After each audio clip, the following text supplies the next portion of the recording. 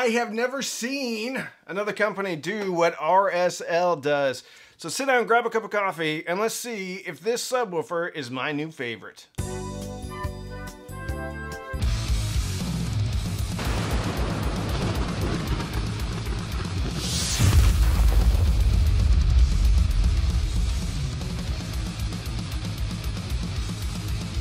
This beautiful subwoofer is the RSL Speedwoofer 10S Mark II.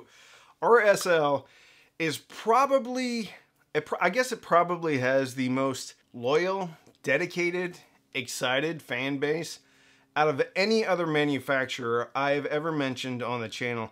I don't believe I've ever seen one negative comment about RSL. Whenever I would do subwoofer reviews in the past, whether it's SVS, Emotiva, Polk, Klipsch, it was always RSL. What about RSL? What about the Speedwoofer? What about RSL? And I always said, well, that's great. I've never talked to them before. Little did I know they had been emailing me the whole time. It just been going to my spam folder for some reason. And for whatever reason, I opened up my spam folder and there it was. Emails from RSL. They have been great. They sent me two pairs of speakers, different sizes, and then they sent me the Speedwoofer 10S Mark II, which is available today for pre-order. I'd never seen another company do that outside of like bike wheels. So there's a bike wheel company called FLO, and they would do basically a limited run. They would do a manufacturing run and they would always sell out.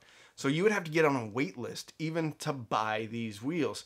I'm not saying this is exactly the same, but what I am saying is you can pre-order it today and it will start shipping, I think, end of April. When I got these in, you could not buy the Speedwoofer 10S. So if you are in the market and you're interested in this product, I would put your pre-order in. They also have a 30-day in-home trial, so if you don't like it, you can always send it back. But this is a product that I don't think stays in stock all the time. So if you need a new sub, might want to pull the trigger today. If you are new here, please consider subscribing and liking this video. I do this for a living, so it means the world to me. If you'd like and subscribe, all of this content is free. I get sponsors, I get some ad revenue. So I try to bring you as much content as I can. We have over 600 videos, so chances are there's something out there for you. So please like this video and subscribe. From a size perspective, the 10 inch Speedwoofer is a little bit bigger than the SVS SB 1000 Pro, which is a sealed subwoofer. This is not a sealed subwoofer. It has a port, but it also uses compression something or other technology kind of like a transmission line, but not as complicated, I guess. You can go over the website and read everything about it. The other good thing is this subwoofer has a great manual. There's actually a spot in the manual that has stupidity with a line like a Ghostbusters thing through it, which I get I got a kick out of. But from a size perspective, the 10 inch is slightly bigger than my sealed SVS. So it's about two inches wider, about three inches taller and about an inch deeper. And I was able to put it in an exact same spot that I usually have my SVS subwoofer. So while it's bigger, it's not obnoxiously bigger like my Klipsch subwoofer that I have upstairs. I still think this can fit in most people's applications in most areas. And the Speedwoofer 10S Mark II has some, well, better, more advanced features. So there's an improved compression guide technology tuning with rear venting, precision 10-inch woofer with heavy die-cast aluminum frame, massive two magnets stacked on top of each other. This allows higher excursions, excursion, which means that it moves more. And then it has a 400 watt RMS amplifier, Class D amplifier. They said if they rated it at peak, it would be well over a thousand watts, but 400 watts on a subwoofer RMS of this size is plenty. I don't think any of my other subwoofers have a more powerful amplifier. Also has some new DSP features. When you click off the low pass filter, you just click it to the left, then it enables, it enables it to go deeper, down to 22 hertz, which is pretty low for something of that size. Something a subwoofer of that size. One inch front baffle. And this thing is, it's not too terribly heavy, but you can tell when you pick it up, it's solid. So it has a one inch front baffle, which is awesome. And then I think has three quarter inch bracing inside. They know what they're doing. Okay, they're not trying to pass one over on you. The enclosure construction and quality is super good. Now, one can argue that the finish on this is a little bit plain Jane. For me, I like that because usually that means, hey, it's not super expensive. I don't want a piano gloss finish on my equipment because that means it's probably more expensive and I'm paying for the finish and not the sound.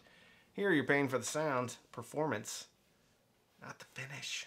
And then finally it has wireless capability. I didn't bring it in. It's a little wireless box that you hook up to your receiver or your amplifier. And the wireless receiver is already built in to the subwoofer. So then you can put the subwoofer, well, wherever you'd like it. Probably can't put it a block away. Probably can't put it across the street. But you can probably put it in the corner of your living room. Across from where your amplifier is. I've had this in my living room for about the last month watching movies, as well as listening to some music and television shows. I'll tell you this some subwoofers just don't feel like they have enough oomph, and I love the SVS SB1000 Pro. But I always feel like I just, even when I have it maxed out, max gain, I don't feel like it's giving me as much bass as I want. There usually is something in my AVR receivers called double bass. I'll turn that on but I often find myself having to adjust the bass a lot, or the subwoofer level a lot on my AVR. Now the controls are what I would consider to be traditional controls. It has a gain or a volume setting, then it has a adjustable phase setting, which I love. You just turn it until it sounds like the bass is coming out of your speakers, then you leave it alone. Some, a lot of subwoofers just have a phase switch, zero or 180. I like the phase control, the adjustable phase control. And then obviously it has a low pass filter or you can click that low pass filter off if you're using your AVR to do the crossovers. It's a long way to say that I never felt like I had to max the gain out on this subwoofer to get the level of bass that I want. I pretty much left it at midnight midnight, maybe a little bit over to one. But then I was still able to dial it in from my receiver or processor to get it exactly where I wanted it. It's a long way to say that I didn't feel like I ever was lacking on any horsepower for this subwoofer. As far as sound goes, I'm not going to sit here and tell you that I am some type of I'm not the paragon of subwoofer reviewers. If it goes boom, if it's not sloppy, if it seems somewhat clean, and fast, then that's good for me. And the, if it's the cheaper, the better, right? I will say that the Speedwoofer Mark II, Speedwoofer 10S Mark II, checks all those boxes. I will say that I think it has a bit more texture on the bottom than the SVS when I'm listening to music. When I'm listening to movies, I couldn't tell a bit of difference, except there was a big punch. Now, the SVS is sealed, while this one is not. So the extension was amazingly similar to my giant 12-inch Klipsch subwoofer that's upstairs. And I actually think the RSL has a more powerful amplifier. So I didn't put it upstairs, but long term, this will probably be going upstairs because I have less room upstairs. And the Klipsch takes up pretty good chunk of real estate up there. And I think I'll get more out of this smaller subwoofer than I will out of the Klipsch. A lot of times I tell people to get a sealed subwoofer because generally they're faster for music. I didn't really feel like I had any type of penalties for having a ported subwoofer here for music. I thought that the bass lines were separated out on a lot of metal track when they have 16th notes bass drum. I never thought I got money. I guess you could say it's the fastest ported sub I've heard. But again, I'm not an expert. I just play one on YouTube. I'm super impressed with RSL.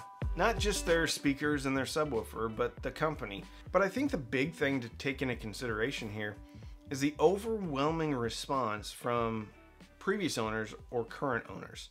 Again, I cannot I don't think I've ever seen a company that has this much love from the audio community. I don't think I've seen one negative thing said about RSL in my comments. And that's the first time that's ever happened. I think this is fairly priced at $450. And I don't think you're gonna find a subwoofer that's priced close to this that's gonna give you the same type of performance.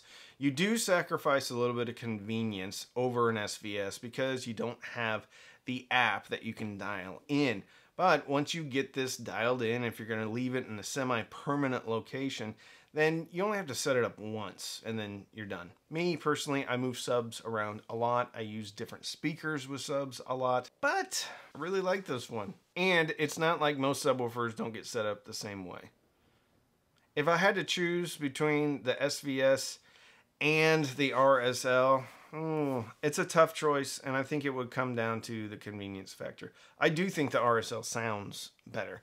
I do think the RSL has a lot more gumption, even though they are rated similarly when it comes to power specifications. And I think the Speedwoofer 10S Mark II plays better in bigger rooms than the SVS SB1000 Pro. They're both great. I don't think you can really go wrong with either one of them, but I kind of like the RSL. I'm really impressed with RSL. With every product that they've sent me, I've been very impressed. I think it's reasonably priced. I think it's you're getting more value than you would from other companies. They have a great return policy and I think they're easy to work with. More importantly, it looks like these are in demand. People are buying these. These are not being put on sale and they have a whole bunch of extra inventory. And that says a lot about a company. If you have any questions, just go to any forum, type in RSL Speedwoofer and see what people have to say. So, if you want to support the channel, you can sign up for Patreon, patreon.com slash cheap man. Every Sunday night have Patreon only Zooms, Patreon only Discord, Patreon only Facebook group. You can also use the links in the description. Those are affiliate links. However, I don't think that this is an affiliate link for RSL, but that's okay. I would place your order, pre-order it if you want a new subwoofer today. You can also sign up for Amazon Music, Tidal, or Roon. Links in the description. Click sign up. Usually there's a 30-day trial period.